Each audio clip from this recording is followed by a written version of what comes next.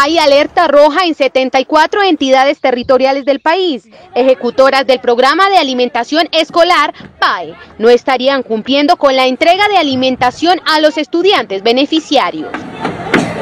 Al 29 de enero, más de 4 millones de niños y niñas no han recibido dicha alimentación. La Contraloría General de la República envía un SOS a las gobernaciones y alcaldías.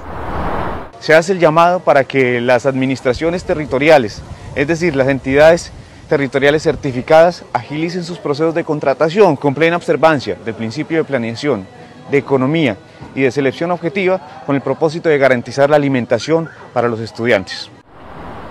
Un panorama desalentador para millones de niños en las regiones quienes ya iniciaron calendario académico.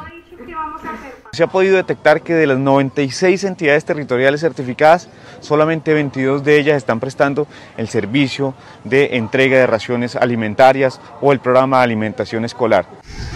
Situación bastante crítica ya que de 5 millones mil estudiantes que son beneficiarios por el PAE, hasta el momento solo 1.202.064.000 han recibido la alimentación.